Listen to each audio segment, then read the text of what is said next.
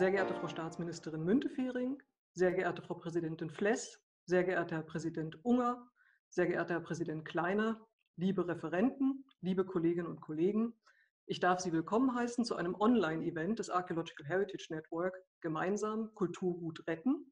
Mein Name ist Katja Piska und ich habe die angenehme Aufgabe, Sie durch das Event zu begleiten. Bei der heutigen Veranstaltung Gemeinsam Kulturgut retten geht es um nachhaltig, äh, nachhaltig wirksame Werkzeuge und Strukturen für den Erhalt des kulturellen Erbes weltweit. Und dabei zum einen um Prävention und zum anderen um ein schnelles Eingreifen in akuten Krisensituationen. Wir freuen uns sehr, dass kurz zum Programm, dass wir Michelle Müntefering, Staatsministerin für internationale Kulturpolitik im Auswärtigen Amt, und Christoph Unger, Präsident des Bundesamts für Bevölkerungsschutz und Katastrophenhilfe, für Grußworte zu diesem wichtigen Thema gewinnen konnten. Im Anschluss feiern wir zum einen den Launch der arabischen Übersetzung des Sicherheitsleitfadens Kulturgut, kurz SILK, eine Initiative der Konferenz Nationaler Kultureinrichtungen, die seit 2016 vom Bundesamt für Bevölkerungsschutz und Katastrophenhilfe gefördert wird. Zum anderen möchten wir die Initiative Kulturgutretter, die auf den Erfahrungen von Stunde Null, einem Projekt des Archaeological Heritage Network, aufbaut, vorstellen.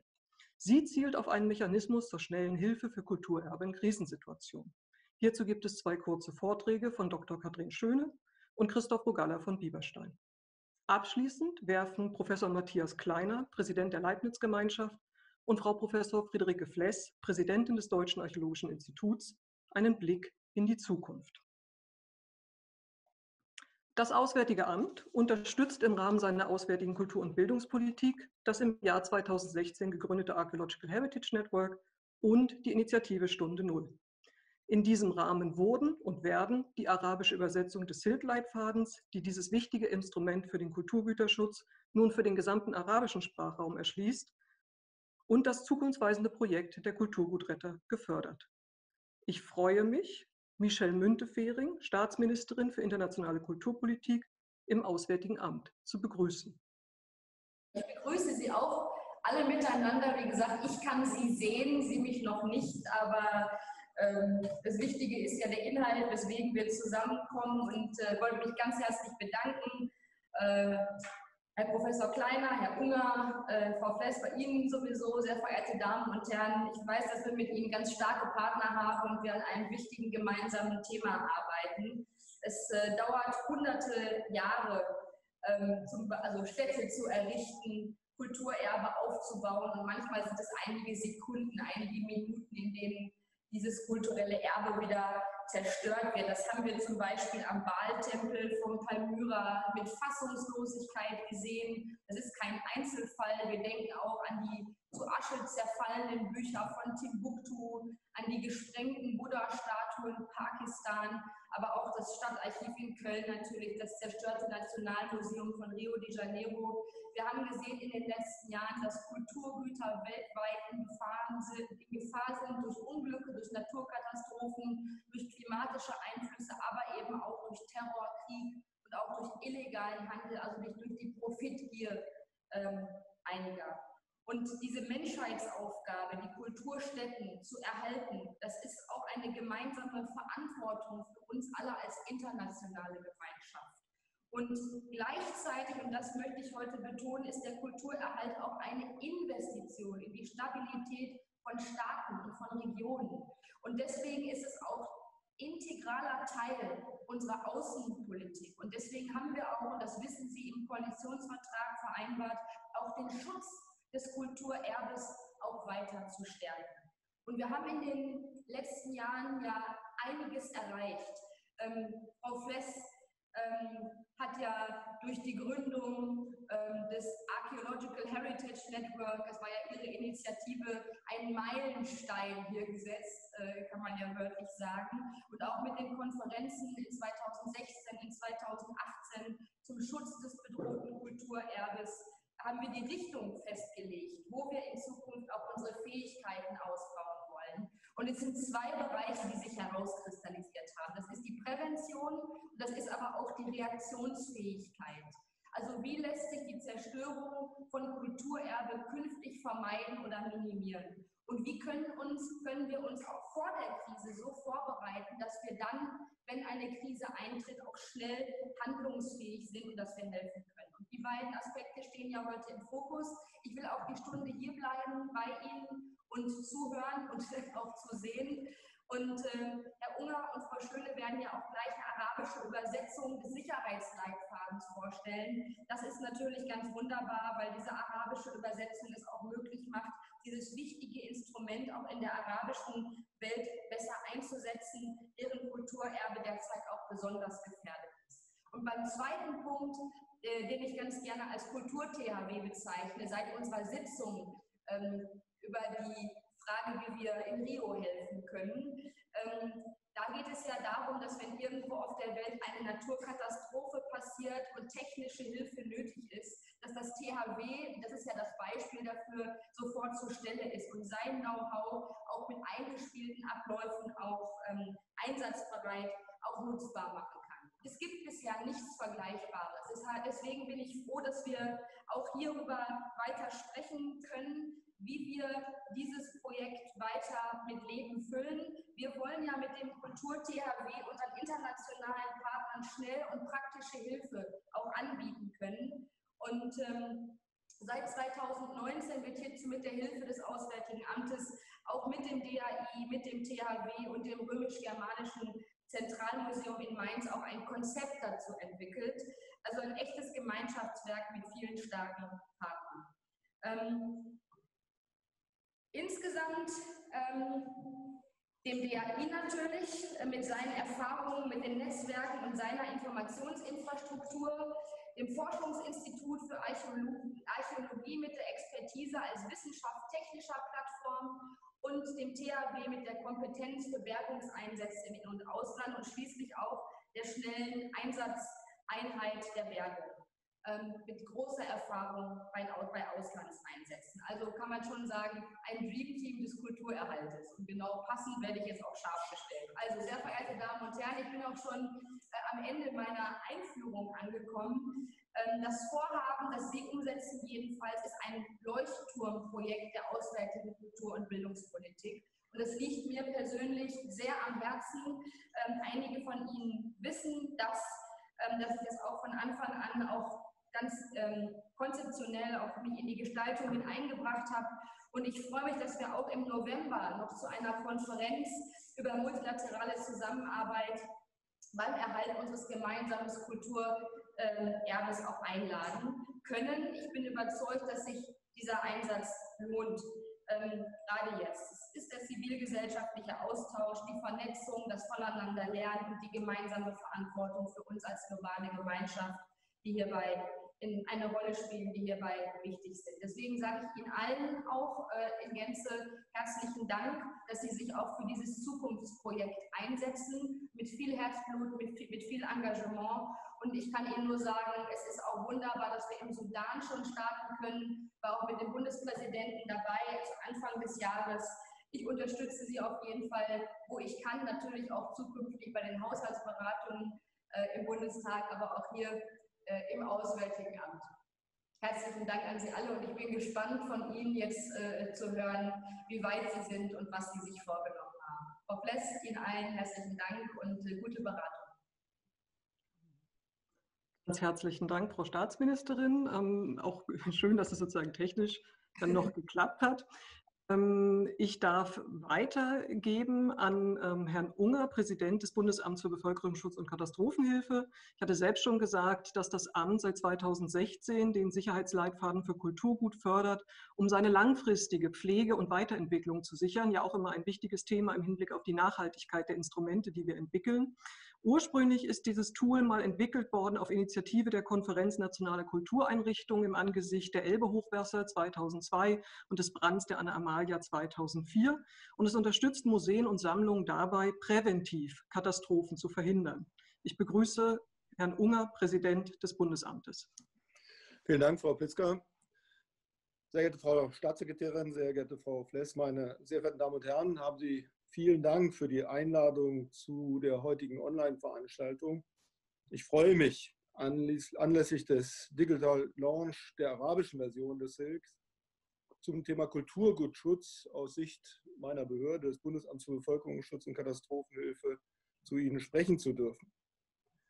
Frau Staatsministerin Monika Grütters sagt im Kontext der aktuellen Corona-Pandemie, zitiere, Kultur ist kein Luxus, den man sich nur in guten Zeiten leistet. Diese sehr treffende Aussage verdeutlicht, dass Kultur essentiell ist für Gesellschaft und auch warum wir uns im BBK mit dem Thema Kulturgutschutz befassen. Wir beschäftigen uns mit den denkbar schlechtesten Zeiten, mit der größten Krise, der größten denkbaren Katastrophe, mit dem Schutz der Bevölkerung im Krieg. Wir nutzten die guten Zeiten, sodass neben vielen anderen lebenswichtigen Dingen eben auch das Kulturgut in der Krise wirksam geschützt ist. Das äh, BBK ist eine Behörde, die mit ihren Vorgängerinnen seit circa 60 Jahren für den Schutz der Bevölkerung im Verteidigungsfall, also im Krieg, zuständig ist. Damals wurde sie unter dem Eindruck eines nuklearen Krieges gegründet. Heute beschäftigen wir uns auch mit vielen weiteren Herausforderungen, Klimawandel, Terror, Cyberattacken und eben damit, wie wichtige Infrastrukturen und wichtige Kulturgüter vor diesen und anderen Gefahren zu schützen sind. Denn aus der Geschichte haben wir gelernt, Kulturgüter wie Kirchen, Museen, Archive, Ausgrabungsstätten und historische Objekte aller Art sind unterschiedlichsten Bedrohungen ausgesetzt. Kulturgüter werden mit Kalkül zerstört, von Myra ist genannt worden, Sie werden durch Naturkatastrophen beschädigt. Auch auf die Elbe wurde hingewiesen, das Hochwasser 2002. Oder sie verfallen durch Vernachlässigung oder Unachtsamkeit. Den Verlust von Kulturgut in, jüngsten, der jüngsten Vergangenheit können wir nicht nur im Nahen Osten durch die Zerstörung terroristischer Gruppierungen beobachten, sondern auch durch Katastrophen vor unserer eigenen Haustür, wie dem Einsturz des Kölner Stadtarchivs 2009 oder dem Brand von Notre Dame in Paris im vergangenen Jahr 2019. Wir als Behörde, wir als BWK handeln auf der Grundlage der Hager Konvention zum Schutz von Kulturgut bei bewaffneten Konflikten von 1954. Dieser völkerrechtliche Vertrag hat uns zum Ziel, bedeutsames Kulturgut vor unwiederbringlichem Verlust zu schützen. Daraus ergeben sich Aufgaben wie beispielsweise die Bundessicherungsverfilmung bei der wir gemeinsam mit den Ländern seit 1961 bedeutsame Archivalien auf Mikrofilm sichern und im zentralen Bergungsort der Bundesrepublik Deutschland, dem sogenannten Barbara-Stollen östlich von Freiburg, einlagern. Immerhin mittlerweile eine Milliarde Dokumentenseiten. Das ist sozusagen das Vermächtnis deutscher Geschichte. Die Hager Konvention weist uns aber auch gewissermaßen in die Schranken. Wir können und dürfen und der Rechnungshof guckt da genau hin, uns nur dort engagieren, wo es einen Bezug zum Verteidigungsfall gibt. Hier bietet der SILK, der Sicherheitsleitfaden Kulturgut, eine herausragende Möglichkeit. Denn SILK ist ein Instrument der Prävention zum Schutz von Kulturgut im Verteidigungsfall und gleichzeitig für allgemeine Gefahrenlagen wie beispielsweise Brände, Hochwasser oder auch Schädlingsbefall. Die kostenlose Online-Plattform zur Selbstevaluation von Bibliotheken, Archiven und Museen stärkt maßgeblich unsere Maxime und die lautet, Risikobewusstsein schärfen und Vorsorge betreiben. Und das bereits in den guten Zeiten, also in den krisenfreien Zeiten im Arbeitsalltag.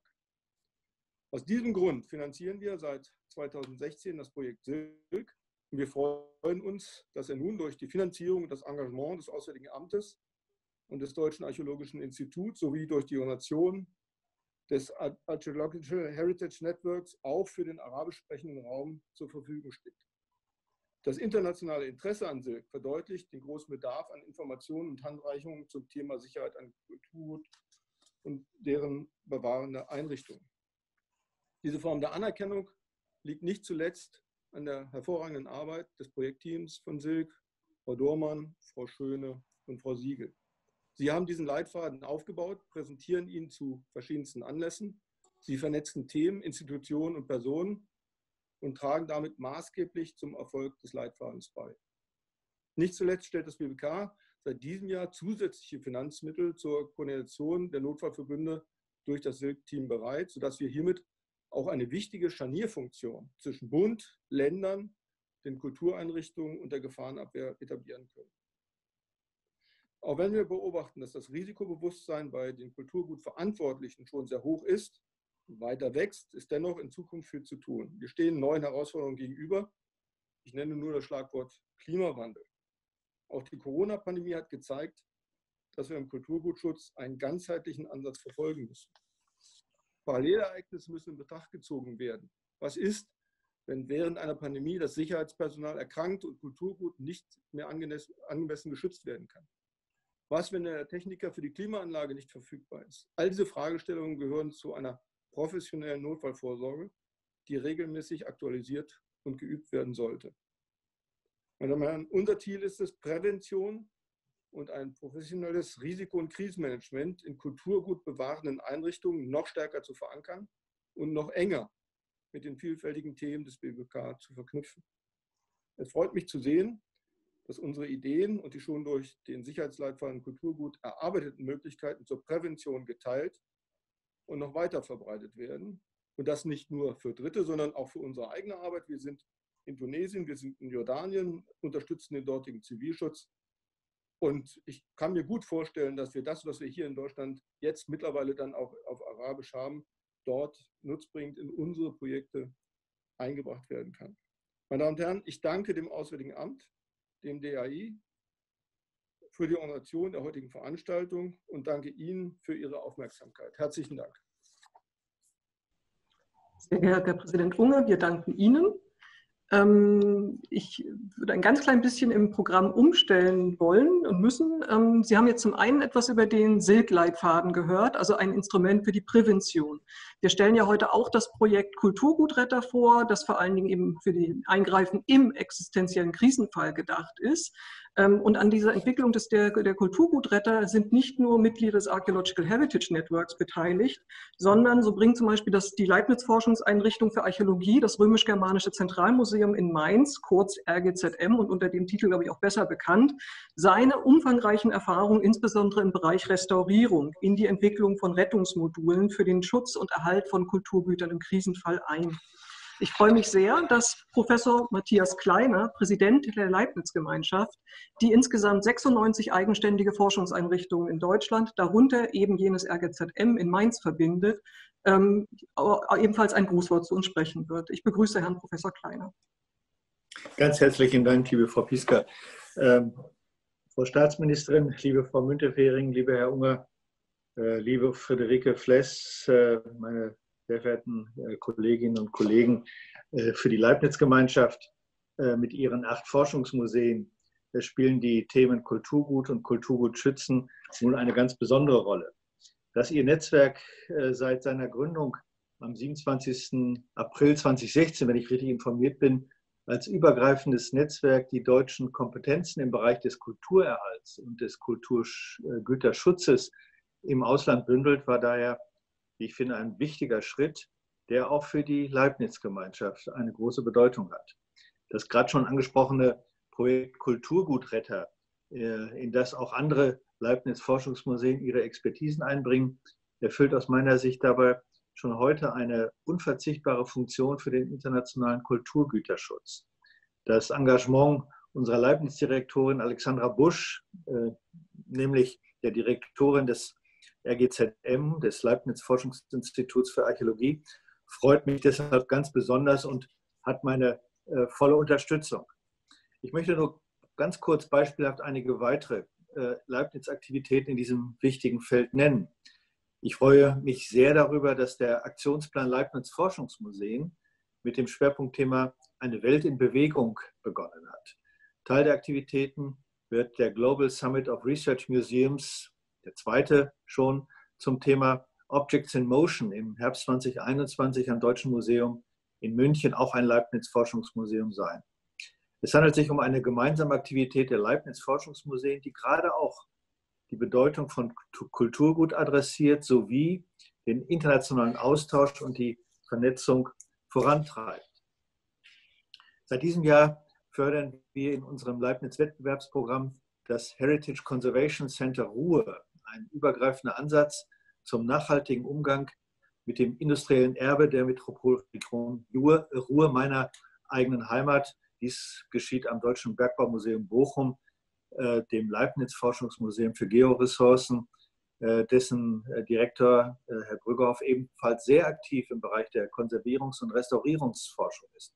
Und mit Mitteln des Aktionsplans wird es dazu 2020 und 2021 oder 2021 einen internationalen Kongress geben. Aus den äh, derzeit herrschenden Randbedingungen äh, lässt sich das erst nur kurzfristig entscheiden. Und als drittes, letztes Beispiel seien die aktuellen Aktivitäten des Berliner Museums für Naturkunde, das das Leibniz-Institut für Evolutions- und Biodiversitätsforschung ist, in Tansania genannt. So führt das MFN seit Anfang dieses Jahres mit dem National Museum of Tanzania, der University of Dar es Salaam und dem Senckenberg Naturmuseum Frankfurt, auch ein Leibniz-Institut, mit Hilfe des Auswärtigen Amtes das Projekt Fossil Heritage in Tansania durch. Sie sehen, die Leibniz-Gemeinschaft unterstützt sehr dauerhaft die Aktivitäten im Bereich der, äh, des internationalen Kulturgüterschutzes und bringt sich auch in Zukunft gerne weiter an auf der Instituts-, aber auch auf der Gemeinschaftsebene. Also nochmal ganz herzlichen Dank für Ihre Initiative, herzlichen Dank für dieses Webinar und ich kann leider nicht bis zum Schluss bleiben und wünsche Ihnen aber für weiteres alles, alles Gute und äh, sage Glück auf. Ganz herzlichen Dank, äh, Herr Kleiner. Ähm, damit äh, würde ich übergehen ähm, zu den zwei Vorträgen, die im Grunde so den Kern der heutigen Veranstaltung bilden. Ähm, wir haben es bereits gehört, dass der Sicherheitsleitfaden Kulturgut, SILK, nicht SILK, wie ich vorhin sagte, darauf zielt, äh, potenzielle Gefahren bewusst zu machen und praktische Handlungsoptionen aufzuzeigen, um den langfristigen Erhalt von Kulturgütern in Archiven, Museen und Sammlungen zu sichern. Er wird seit 2008 von einem interdisziplinären Team geleitet, das aus der Architektin Almut Siegel, der Ethnologin Dr. Elke Dormann und der Kunsthistorikerin Dr. Karin Schöne besteht, äh, Katrin Schöne, Verzeihung, besteht. Ich begrüße heute Frau Schöne, die den Sicherheitsleitfaden und seine arabische Übersetzung vorstellen wird. Hallo, vielen Dank für die einführenden Worte. Sehr geehrte Frau Staatsministerin, sehr geehrter Herr Unger, sehr geehrte Frau Fless, sehr geehrte Damen und Herren, ich freue mich, dass wir in dieser Runde zusammengekommen sind. Ein besonderes Format für eine besondere Veranstaltung in diesen besonderen Zeiten. Mein herzlicher Dank geht an das Deutsche Archäologische Institut bzw. ARCANET für die Initiative, diese Veranstaltung zu organisieren. Und da ich Ihnen jetzt inhaltlich etwas präsentiere, werde ich jetzt gleich mal meinen Bildschirm teilen damit Sie meine PowerPoint-Präsentation auch sehen. Einen Moment bitte. Ich möchte Ihnen in den nächsten 15 Minuten unser Silk-Projekt kurz vorstellen. Zunächst den Silk-Sicherheitsleitfaden Kulturgut, ein Instrument zur Selbsthilfe. Dann zeige ich Ihnen, welche weiteren Tätigkeiten und abschließend berichte ich Ihnen von dem Sicherheitsnetzwerk, in dem wir uns bewegen. Silk ist die Abkürzung von Sicherheitsleitfaden Kulturgut. Und wie ist Silk entstanden? Im Jahr 2002 waren die staatlichen Kunstsammlungen Dresden vom Elbe-Hochwasser betroffen. Im Jahr 2004 brannte die Herzogin Anna Amalia Bibliothek der Klassikstiftung Weimar. Beide Einrichtungen sind nicht nur bundesweit, sondern auch weltweit bedeutsam und beide sind Mitglieder der Konferenz nationaler Kultureinrichtungen KNK. Zur Erläuterung kurz, die KNK ist ein Zusammenschluss von national bedeutsamen kulturellen Institutionen in Ostdeutschland, die sich im Jahr 2002 gegründet haben und durch den bzw. die Beauftragte des Bundes für Kultur und Medien, BKM, eine Förderung erfahren. Zu den Mitgliedern gehören außerdem unter anderem die Stiftung Preußische Schlösser und Gärten mit Schloss Sanssouci, die Wartburg in Eisenach und das Bauhaus in Dessau. Auf Initiative der KNK wurde 2006 eine erste Tagung veranstaltet, die meine Kolleginnen Almut Siegel und Alke Dormann organisiert haben. Auf dieser Tagung stellte sich heraus, dass es in Museen, Archiven und Bibliotheken einen großen Bedarf an Informationen zu Sicherheitsthemen gab und einen Wunsch nach Hilfestellung. Im Anschluss an die Tagung entstand die Idee, den Silk-Sicherheitsleitfaden Kulturgut als Online-Instrument zu entwickeln. Und in den Jahren 2000, 2008 bis 2012 wurde Silk konzipiert und entwickelt. Im Jahr 2008 bin ich dazu gestoßen. Die Finanzierung des Projekts übernahm von 2005 bis 2015 BKM. Seit 2016 finanziert das Bundesamt für Bevölkerungsschutz und Katastrophenhilfe das Projekt. Rechts in der Mitte sehen Sie übrigens das Riegel-Logo. Silk wurde im Jahr 2016 mit dem Riegel-Preis für Schutz, Pflege und Ausstellen von Kunst und Kultur ausgezeichnet. So. Was genau ist Silk? Silk ist ein umfassendes Informationsportal und digitales Hilfetool zum Thema Sicherheit in Museen, Archiven und Bibliotheken. Hier sehen Sie die Startseite, die deutsche Startseite. Es dient der Prävention, indem das Risikobewusstsein geschärft wird. Silk ist zum einen ein Forum zur Information mit Einführungstexten und einem Wissenspool, zum anderen ist es ein Instrument zur Evaluation des eigenen Sicherheitsstandards durch Fragebögen. Es ist ein kostenfreies Angebot für alle Sammlungseinrichtungen, unabhängig von ihrer Größe und der Art der Sammlung.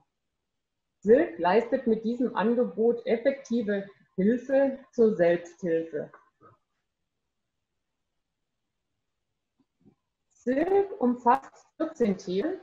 Links im Menü Sehen Sie, die Themen sind, sind alle Themen aufgelistet. Dabei gibt es nicht nur die klassischen Themen der Museumssicherheit, Brand und Diebstahl, sondern auch Aspekte der präventiven Konservierung, zum Beispiel die Themen Klima, Schadstoffe, Schädlinge oder Licht. Äh, hier ist rechts der Einführungstext zum Thema Diebstahl zu sehen. Bei der Entwicklung von Silk haben wir die einzelnen Themen zusammen mit Experten erarbeitet und die Texte so verständlich wie möglich formuliert. Dabei haben wir vor allem an kleinere und mittlere kulturgutbewahrende Einrichtungen gedacht, die keine spezialisierten Mitarbeiter für die Sicherheit ihrer Sammlung haben.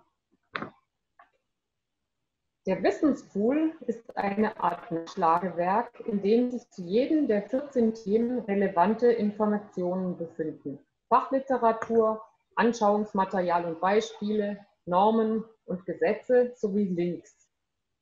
Aber auch praktische Materialien zum Download, beispielsweise ein Formular für Risikoanalyse. Das Kernstück von Silk ist der Fragebogen. Möchte ein Mitarbeiter zum Beispiel herausfinden, wie gut seine Einrichtung auf einen Einbruch vorbereitet ist, kann er den Fragebogen Diebstahl ausfüllen. Der Umfang der Fragebögen variiert zwischen 12 und 30 Fragen. Viele Fragen sind durch Erläuterungen ergänzt, die man per Klick aufklappen kann, sodass alle Themen auch für Nichtfachleute einfach verständlich sind. Ist der Fragebogen ausgefüllt, bekommt der Nutzer direkt eine Auswertung nach dem Ampelsystem. Dazu gibt es bei Bedarf konkrete Handlungsempfehlungen, manchmal auch zusätzliche Tipps. Sie sehen links den Fragebogen Diebstahl Rechts die zugehörige Auswertung mit den Ampeln. Bei der grünen Ampel unten, unten rechts ist alles in Ordnung. Eine rote Ampel zeigt eine mangelhafte Situation an und auch bei Gelb äh, wird der Mindeststandard nicht erfüllt. Es besteht eine Dauergefahr. Handlungsempfehlungen und Maßnahmen zur Kompensation werden angezeigt. Also hier gibt es zum Beispiel auch noch Tipps bei Gelb. Die Auswertung kann als PDF lokal auf dem PC gespeichert werden. Die eingegebenen Antworten sind anonym und stehen nur dem Teilnehmer zur Verfügung. Ein Zugriff auf sensible Daten von außen ist nicht möglich. Seit dem Jahr 2016 liegt Silk auch in englischer Version vor. Herzlichen Dank an den Gesamtverband der Deutschen Versicherungswirtschaft, der die englische Übersetzung finanziert hat.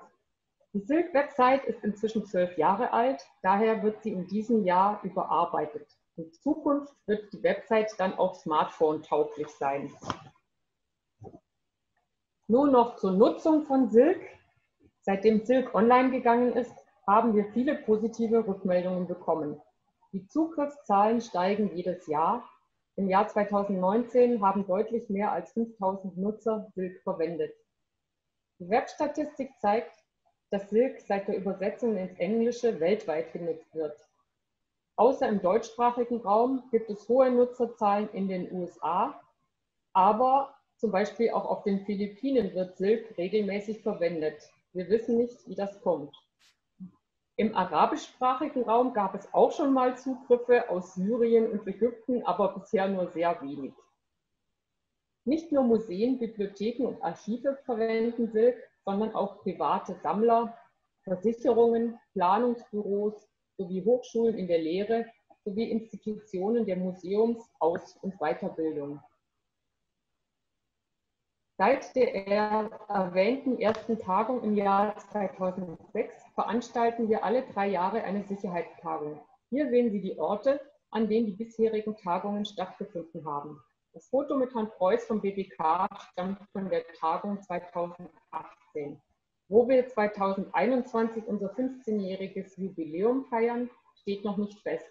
Wir hoffen, dass es die Bedingungen im Zusammenhang mit Corona zulassen werden. Aus den Vorträgen der Tagungen gehen Informationen hervor, die kostenlos bezogen werden können oder als PDF zum Download auf der Silk-Website zur Verfügung stehen. Alle drei Monate geben wir einen Newsletter heraus, der über aktuelle sicherheitsrelevante Themen berichtet. Außerdem informiert er über Veranstaltungen und über die Silk-Aktivitäten. Was machen wir noch? Wir betreiben eine interne intensive Öffentlichkeitsarbeit, um eine möglichst breite Nutzung von Silk zu erreichen. Dazu halten wir Vorträge, nehmen Lehraufträge wahr und veröffentlichen Artikel in der Fachpresse. In diesem Jahr haben wir zusätzlich die Koordination des Netzwerks und der Webseite der Notfallverbünde in Deutschland übernommen. Herr Unger hat es gerade schon erwähnt. Dies will ich kurz erläutern. In den letzten 15 Jahren haben sich in vielen deutschen Städten und Regionen Museen, Archive und Bibliotheken zu Notfallverbünden zusammengeschlossen, um sich im Krisenfall gegenseitig zu unterstützen oder sich gemeinsam präventiv auf einen Notfall vorzubereiten. Dies geschah als Reaktion auf diverse Katastrophen wie der erwähnte Brand der Anna-Amalia-Bibliothek oder der Einsturz des Stadtarchivs Köln. Die Notfallverbünde haben sich zu wichtigen Partnern zur Verbesserung der Sicherheitssituation in Kultureinrichtungen entwickelt. Eine zunehmende Vernetzung untereinander fördert den Erfahrungs- und Wissensaustausch. Die Website wurde von freiwilligen Akteuren aufgebaut, für deren Pflege und für Koordinationsaufgaben fehlten jedoch die Kapazitäten. Dies übernimmt nun das Hilfswerk. Als letzten Aspekt unserer Tätigkeit möchte ich Ihnen kurz zeigen, in welchem nationalen und internationalen Sicherheitsnetzwerk wir uns bewegen. Dazu zählen in erster Linie natürlich zahlreiche Museen, Archive, Bibliotheken, Sammlungen, Schlösser, Burgen, kirchliche Einrichtungen und dazu gehört ein großes Expertennetzwerk aus den Bereichen Museumssicherheit, Bestandserhaltung, präventive Konservierung, Restaurierung, sowie zahlreiche Forschungsinstitute, Fachstellen und Initiativen. Hier ist nur eine kleine Auswahl. Als neuer Akteur ist die Arbeitsgruppe Archäologisches Kulturerbe der Nationalen Akademie der Wissenschaften Leopoldina unter der Leitung von Professor Kartlinger und Professor Fless hinzugekommen. Wir bekommen immer wieder Anfragen und auch einige Kontaktkooperationen. Zum Beispiel haben wir am Roundtable des Auswärtigen Amts zum Brand im Nationalmuseum Rio de Janeiro teilgenommen, der von Staatsministerin Müntefering einberufen wurde. Wir haben im Rahmen von Besuchsprogrammen des Goethe-Instituts für Kulturverantwortliche aus Brasilien, Afrika und Ozeanien SILF und den Kulturgutschutz in Deutschland vorgestellt. Die Fraunhofer-Institute baten uns um Mitarbeit im Projekt zu Kulturgutschutz und Klimawandel. Wir halten Vorträge bei Tagungen von Museumsverbänden und veranstalten Workshops. Zum Beispiel haben wir einen Workshop im Bundesministerium des Innern zum Thema Bergung von Kulturgut im Rahmen der Neukonzeption zivile Verteidigung veranstaltet. Und wir beantworten Presseanfragen und stehen für Interviews zur Verfügung. Und nun komme ich zum Anlass der heutigen Veranstaltung. Die Idee, Silk ins Arabische zu übersetzen, entstand nach einer Podiumsdiskussion im Mai 2019 mit dem Titel Rio, Notre Dame What's Next? Kulturgüterschutz als globale Aufgabe, die aus Anlass des Brandes im Nationalmuseum von Rio de Janeiro 2018 im Berliner Naturkundemuseum stattfand. Organisiert vom Auswärtigen Amt mit Moderation durch Dr. Görgen. Sie sehen hier übrigens ein Foto von der Veranstaltung. Auf dem Podium saßen Professor Fless, Herr Professor Kellner, Frau Professor Simon leitet das Forschungsinstitut und Frau Siegel als Vertreterin des Teams. Ein Großteil der Teilnehmer ist, glaube ich, auch heute bei der Veranstaltung dabei. Frau Fless sah einen Bedarf an einem Online-Tool zur Selbsthilfe im arabischsprachigen Raum und initiierte die Zusammenarbeit mit Silk. So entstand in Kooperation von Silk mit dem BAI und Archernet eine arabischsprachige Version. Die Eingabe arabischen Texte in das Content-Management-System war eine spannende Erfahrung für uns mit der ungewohnten Schrift und dem Verlauf von rechts nach links. So, und nun freuen wir uns auf den Moment, hier ist der Startknopf, um die arabische Version von Silk online zu steigen. Drücke auf den roten Knopf und jetzt ist Silk online. Wir freuen uns sehr, dass nun auch im arabischsprachigen Kulturraum Silk genutzt werden kann und bedanken uns für die angenehme Zusammenarbeit mit dem Team des Archanet und des BAI. Ganz herzlichen Glückwunsch zu diesem ja. Ergebnis. Danke. Und danke für Ihren Vortrag. Also mit dem Silkleitfaden haben wir jetzt ein etabliertes, aber eben vorbildlicherweise auch weiterentwickeltes Instrument der Prävention gesehen. Das zweite Projekt, das wir heute vorstellen wollen, ist hingegen noch eine ganz junge Initiative, die Kulturgutretter. Die wurden nämlich erst Mitte 2019 im Rahmen von Stunde Null eben des Projektes Archaeological Heritage Networks gestartet. Sie bauen auf den seit 2016 im Rahmen des Netzwerks auf und ausgebauten Kompetenzen zum Erhalt und Schutz des kulturellen Erbes in Krisengebieten auf und diese Initiative, dieses Projekt zielt eben auf einen Mechanismus zur schnellen Hilfe für bedrohtes Kulturerbe, sozusagen erste Hilfe im Notfall. Das Projekt wird vorgestellt von Christoph Rogalla von Bieberstein. Der ist äh, von Haus aus ein Restaurator für archäologisches Kulturgut und im Rahmen von Stunde Null eigentlich mit die zentrale Figur für die Entwicklung dieses Projekts Kulturgutretter. Ich begrüße Christoph Rogalla von Bieberstein. Herzlichen Dank, Frau Pieska, für diese sehr freundliche Einleitung. Ähm, Frau Staatsministerin Müntefering, ähm, sehr geehrte Präsidentin Frau Fless, äh, Präsident Herr Unger und Herr Kleiner, sehr geehrte Damen und Herren, ich bin ähm, geehrt, heute hier Ihnen die Kulturgutretter so darstellen zu können. Ähm, ich äh, versuche jetzt meinen Bildschirm freizugeben. Meine sehr geehrten Damen und Herren, noch einmal, ich begrüße Sie und ich ähm, beginne meine Präsentation, die Vorstellung der Kulturgutretter. Im gemeinsamen Kulturgut retten ist ein ähm, sehr klarer Titel für diese Projektvorstellung. Gemeinsam, denn es geht hier um die Hilfe und die Kraft vieler Menschen. Retten, also etwas bewahren, klingt dramatisch, ist dramatisch und im Moment des Geschehens verlangt es von uns einen kühlen Kopf, Mut zur Entscheidung und einen erprobten Plan. Und es braucht Empathie, denn der Verlust von Kulturgut, von Identität hinterlässt bei den Betroffenen ein traumatisches Gefühl der Leere. Im Herbst 2000 konnte ich mit Margarete van S. vom DRI nach Bagdad reisen. Als Restaurator für archäologisches Kulturgut sollte ich wassergeschädigte Objekte des Nationalmuseums dokumentieren und versorgen, was ich auch tat. Im Verlauf meiner Arbeit hatte ich dann das Privileg, die prall gefüllten Archive des Museums betreten zu dürfen. Kulturgut aus vielen Jahrzehnten Ausgrabungstätigkeit im Irak, darunter viele Keilschrifttafeln, noch erdverkrustet und vermutlich ungelesen. Für mich ein magischer Ort. Kurz danach, 2003, kam erst der Krieg, dann das Chaos und schließlich heuschreckengleich die Plünderer. die ikonischen Nachrichtenbilder, umgestürzte Regale, zertrampelte Keramik, Glasscherben, ein Chaos von Inventarlisten, Fotos und Plänen haben auch in mir das eingangs beschriebene Gefühl dieser Lehre erzeugt. Dazu mein völlig subjektives Vorstellungsvermögen vom Inhalt der Kaltschrifttafeln, Beobachtungen von Planeten, Mathematik, von Gesetzen, Poesie. Verlorenes Wissen für immer, so schien es mir damals. Aber ich bin auch Restaurator und es gehört zu mein, meiner Profession, Dinge wieder geduldig in ihren Kontext zu stellen, zu verbinden, zu kombinieren, zu dokumentieren, zu identifizieren und vor allem nicht aufzugeben.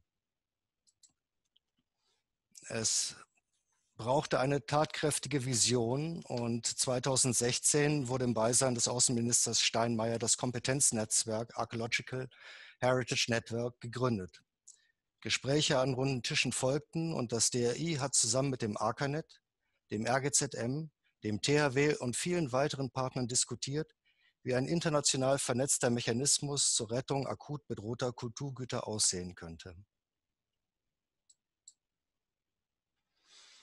Im Ergebnis formte sich daraus das Projekt Kulturgutretter, verankert beim Deutschen Archäologischen Institut und seit Juni 2020 auch bei der Leibniz Forschungseinrichtung für Archäologie in Mainz, die nun ihre Expertise zusammen einbringen. Diese Kerngruppe bezieht jetzt die nationalen und internationalen Netzwerke ein, um in Deutschland Strukturen zu schaffen, damit Experten für den Kulturgutschutz international aktiviert werden können. Damit komme ich äh, zur Projektstruktur der Kulturgutretter. Wir planen in Summe acht Module mit folgendem Namen. Das Netzwerk, die Logistik, die Fernerkundung, die Notfalldokumentation, die Autopsie vor Ort, Planung und Konzepterstellung, Minimum Standard Procedures, Rettungscontainer. Alle diese acht Module werden durch vier grundlegende Querschnittsaufgaben verknüpft werden. Es handelt sich hier um die Schulung handlungssicherer Personen, Optimierung von Prozessen, Instrumenten, Normen und Standards, physisches und digitales Capacity Building und die Fähigkeit zum schnellen Eingreifen weltweit. Das Modul 1, das Netzwerk. Der Ausbau des Archaeological Heritage Network zu einem Expertennetzwerk. Mit den IT-Ressourcen des DRI möchten wir einen nationalen Expertenpool aufbauen, welcher das gesamte Spektrum des Kulturerhalts umfasst. Das Modul 2, die Logistik. Wir wollen durch Kooperation mit der Katastrophenhilfe die logistischen Abläufe für internationale Mechanismen auf das Kulturgutretterprojekt übertragen dürfen. Das Modul 3. Fernerkundung. Satelliten- und Drohnenbilder sind die Planungsgrundlage für jeden wirksamen Schutz bei Katastrophen. Wir entwickeln unter dem Dach von eDI Welt diese Prozesse weiter, um schnell präzise Daten liefern zu können. Nummer vier, die Notfalldokumentation. Dokumentationstechnologien für Denkmäler und Objekte zu beherrschen, ist die Grundlage jeder Notfalldokumentation. Sie wissen das. Und wir wollen diese Technologien weiter aufbauen und für Kriseneinsätze zur Verfügung stellen. Das Modul 5, Autopsie vor Ort. Die Schadensbeurteilung eines Baudenkmals, geleistet durch ein kleines Team, ist entscheidend für jede Form von örtlicher Sicherung und gehört damit zu den zentralen Bausteinen der Kulturgutretter. Und das Modul 6, Planung und Konzepterstellung, ist für uns die Grundlage für die Umsetzung von Maßnahmen einer forschungsbasierten Planung auf Basis internationaler Standards. Diese Expertise wollen wir stärken, um konkrete Konservierung durchführen zu können. das Modul 7, Minimum Standard Procedures. Ist eine Räumung von Kulturgut unausweichlich, müssen Objekte geborgen und versorgt werden. Wir entwickeln dafür Minimum Standard Procedures, die so einfach und genormt wie möglich sein sollen, damit eine Vielzahl von Helfern unter Anleitung eingesetzt werden können. Und das Modul 8, die Rettungscontainer. Um wirkungsvoll bei einer Krise eingreifen zu können, ist eine professionelle operative Ausstattung zwingend. Wir entwerfen und bauen deshalb ein robustes, modulares System von Rettungscontainern, die universal miteinander verknüpfbar sein werden. Mit dem RGZM haben wir vor kurzem mit dem Bau der ersten Rettungscontainer zur Notfallkonservierung begonnen.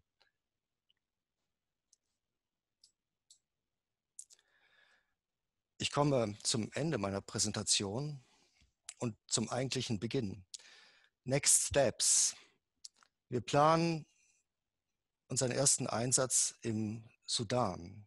Das wissen Sie wahrscheinlich, das DRI unterstützt den Sudan dabei, die bedeutenden Welterbestätten der Pyramiden von Meroe zu erhalten und touristisch zu erschließen.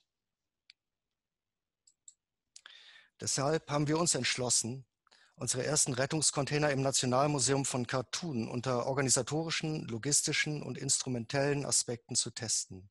Wir wollen so die Bestände im Nationalmuseum sichern helfen, örtliches Personal in Minimum Standard Procedures ausbilden und den Grundstein für die Erstausstattung des bislang nicht vorhandenen Restaurierungslabors legen. Meine sehr geehrten Damen und Herren, damit schließe ich meine Projektvorstellung der Kulturgutretter und ich danke Ihnen herzlich für Ihre Aufmerksamkeit. Galla von Bieberstein, wir danken Ihnen für Ihre Präsentation. Sehr gerne. Damit äh, sind wir an dem Punkt, dass wir einen Blick in die Zukunft werfen. Und dazu begrüße ich nun Frau Professor Friederike Fless, Präsidentin des Deutschen Archäologischen Instituts, die, wir haben es heute schon gehört, zu den wesentlichen Initiatoren des Archaeological Heritage Networks gehört und dessen Weiterentwicklung mit großem Engagement fördert. Ich übergebe an Frau Professor Fless. Ja, vielen Dank, äh, sehr geehrte Frau Staatsministerin, liebe Frau Müntefering, sehr geehrter Herr Unger, liebe Kolleginnen und Kollegen, meine sehr geehrten Damen und Herren. Äh, für eine Archäologin gehört es eigentlich zum Alltagsgeschäft, äh, aus, den, aus dem Blick in die Vergangenheit auf Visionen für die Zukunft abzuleiten. Und daher mache ich es auch heute gerne, dass ich zum einen äh, rückblicke oder sum, subsumiere, was heute auch vorgestellt wurde und einen Ausblick äh, gebe. Es wurde mehrfach darauf hingewiesen, dass wir äh, in den vergangenen Jahren Zerstörung und Verlust von Kulturgütern erlebt haben, in einem Ausmaß, den wir eigentlich seit dem Zweiten Weltkrieg nicht mehr so für möglich gehalten haben. Alle haben die Bilder, vor allem die Archäologen des DRI, der intentionellen Zerstörungen vor Augen. Die Liste beginnt ja bei Bamian, Mali, die Zerstörung durch den IS im Irak und Syrien, aber auch Katastrophen, wie sie heute angesprochen wurden, wie in Rio de Janeiro. Und in allen Situationen äh, und dem Erleben der Bilder, dem Sehen der Bilder, die uns ja äh, perfiderweise teilweise auch in High Definition frei Haus geliefert wurden, vom Islamischen Staat zum Beispiel, hatten wir vor allem ein Gefühl der Ohnmacht. Und aus diesem Gefühl der Ohnmacht heraus haben viele Kolleginnen und Kollegen reagiert, indem sie vor allem diskutiert haben. Es gab eine Inflation von Konferenzen mit dem Titel Kulturelles Erbe in der Krise, Cultural Heritage in Crisis.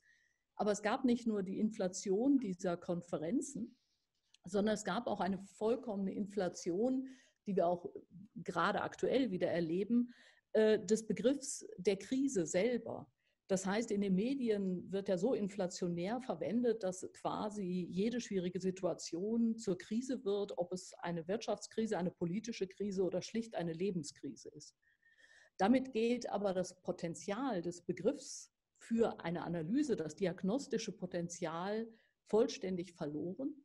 Und wir haben in vergangenen zwei Jahren äh, in einer Arbeitsgruppe des Auswärtigen Amtes intensiv diskutiert, das Thema Kultur und Krise und auch den Krisenbegriff äh, diskutiert, auch um Visionen für die Zukunft, auch Strategien für eine neue auswärtige Kultur- und Bildungspolitik zu entwickeln.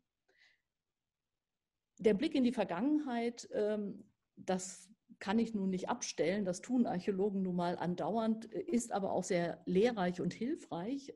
Weil in der Vergangenheit der Punkt oder der Begriff der Krise sehr viel klarer gefasst war. Der antike Arzt Galen, für den war die Krise der Wendepunkt in einer Krankheit. Es war ein Punkt, an dem allerdings der Ausgang noch nicht klar war, also ob es gut oder schlecht ausgeht. Allerdings, das Beruhigende daran ist, man hat im Endeffekt Einfluss darauf, wie eine Krise ausgeht. Das heißt, man kann steuern und man kann darauf wirklich Einfluss nehmen auf den Ausgang, den dieser Wendepunkt die eigentliche Krise nimmt.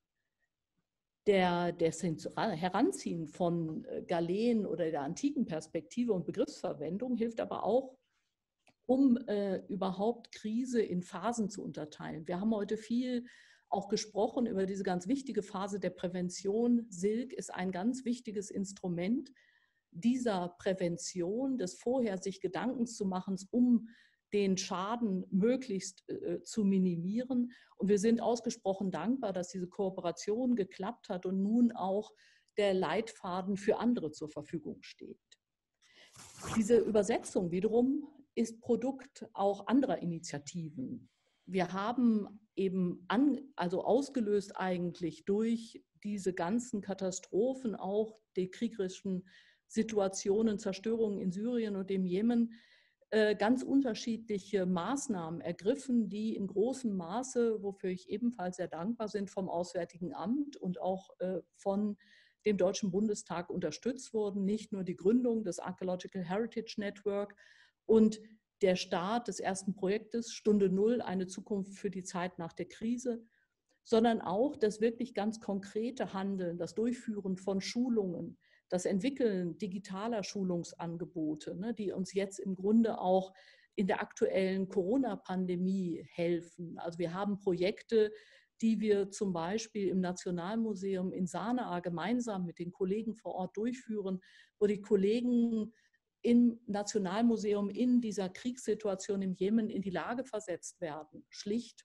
Strom zu haben, weil sie jetzt Solarpaneele haben, Computer und Digitalkameras daher zu betreiben, um überhaupt ihr kulturelles Erbe zu dokumentieren. Denn nur was man kennt, kann man auch wirklich schützen. Deswegen sind ja digitale Museumsregister, sind digitale Denkmalregister von einer so großen Bedeutung.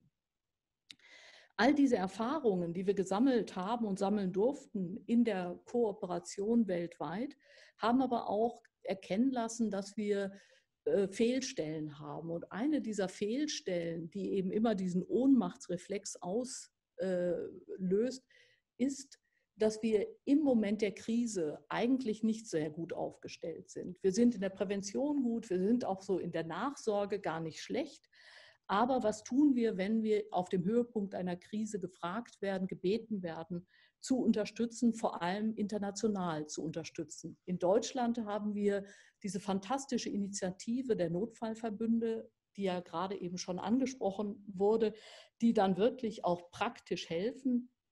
International hingegen können wir im Moment wenig oder selten nur äh, also agieren und reagieren vor allem.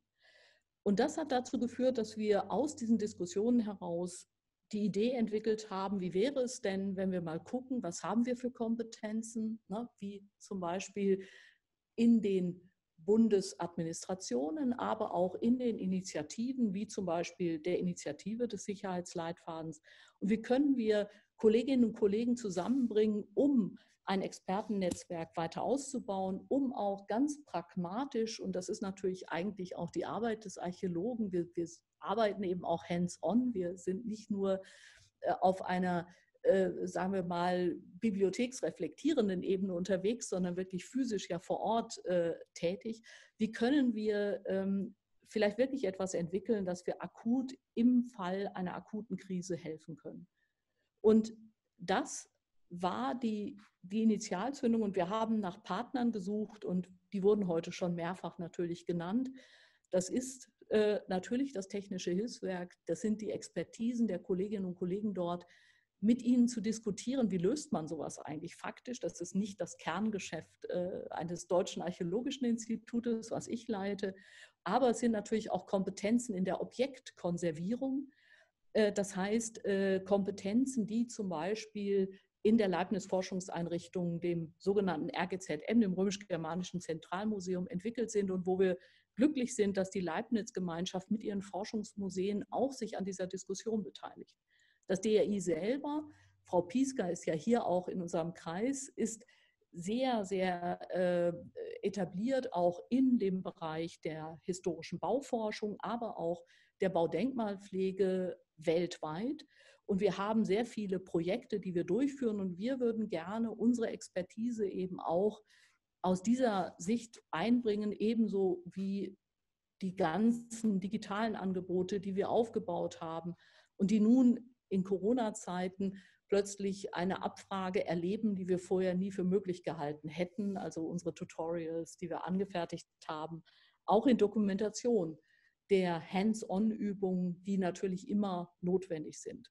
Denn das Zentrale, was Herr von Bieberstein ja auch hervorgehoben hat, ist, dass man handlungssicher ist. Man darf nicht erst lange nachdenken müssen, sondern man muss unmittelbar in der Lage sein, zu handeln, Dinge zu tun. Vorher reflektiert man, indem man den Sicherheitsleitfaden zum Beispiel für sein Museum äh, anwendet. Mein Internet sagt mir gerade hier, ich sitze in Westfalen, nicht in Berlin, dass äh, die Verbindung schlecht sei. Ich hoffe, es war einigermaßen verständlich.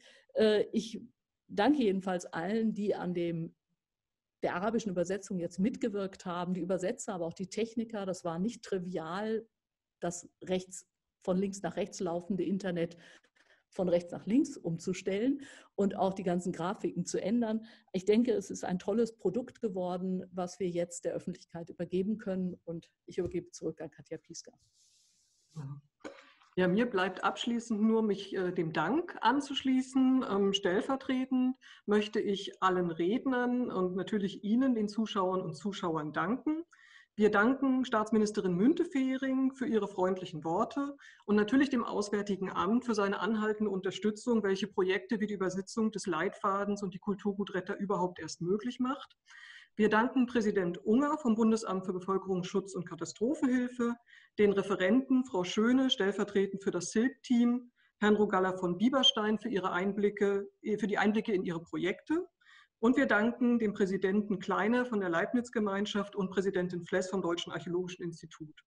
Ich danke auch meinen Kolleginnen und Kollegen hier, zum Beispiel dem Koordinationsteam des AKRNet und der Presse- und Öffentlichkeits des DRI, die es geschafft haben, äh, die Veranstaltung heute in dieser Form zu organisieren, äh, mit allen kleinen Anstandsfehlern. Und ich danke eben nochmal natürlich Ihnen, den Zuschauern und Zuschauern, für Ihre Aufmerksamkeit. Ich wünsche Ihnen einen angenehmen Nachmittag.